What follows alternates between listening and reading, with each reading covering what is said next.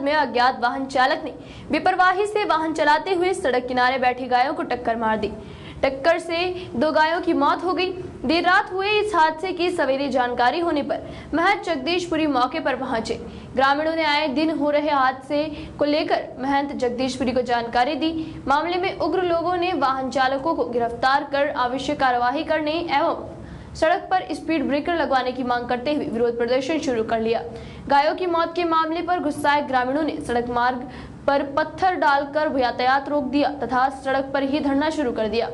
जानकारी मिलने पर उपखंड अधिकारी भागीरथ राम मौके पर पहुँचे, जहाँ महंत जगदीशपुरी के नेतृत्व में विरोध जता रहे सैकड़ों ग्रामीणों से एसडीएम ने वार्ता कर समझाइश की। ग्रामीणों ने हादसों पर नियंत्रण व आवश्यक जगहों पर स्पीड ब्रेकर लगाने सहित चालक की गिरफ्तारी की मांग रखी, जिस पर एसडीएम ने घटनास्थल पर बैरिकेड्स लगवाने का आश्वासन दिया।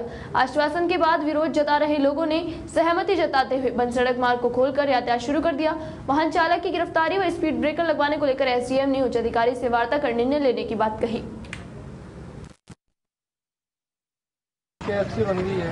अब सबकी ये इच्छा है कि सड़कें अच्छी बने।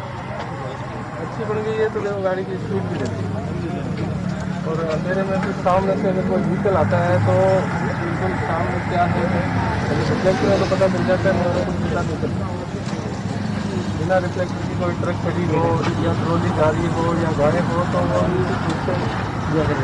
बस होने की थोड़े आप गन होने की पूरी तमाम है। अगर स्पीड में वो टकराती है तो उसमें जो बैठी सवारी है, उनके लिए भी जान का बड़ा खतरा रहता है।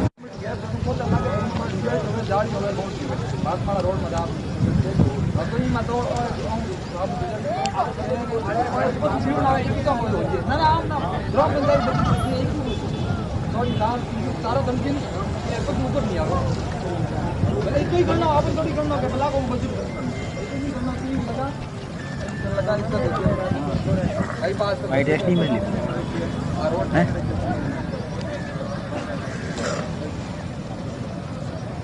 देखो आप मीडिया से हो और प्रशासन से भी हमारी ये जानकारी हमारी तरफ़ से जो हुई थी कारण था कि कल रडुआ में तीन चार गायें मार दी। आज ये सिंपल नाडी ओम मंदिर के पास में रात को ट्रक वाले ने छोटी गाड़ किसी ने भी मार दी, अभी कोई प्रूफ नहीं हुआ। तीन गायें यहाँ मार दी। अब डेली हमेशा गायों की मौत होती है, इसलिए हमने प्रशासन को ट्रकों वालों को और व्हीकल को रोक के वहाँ जाम लगा के गाँव में 200 आदमी लगभग इकट्ठे हो गए थे।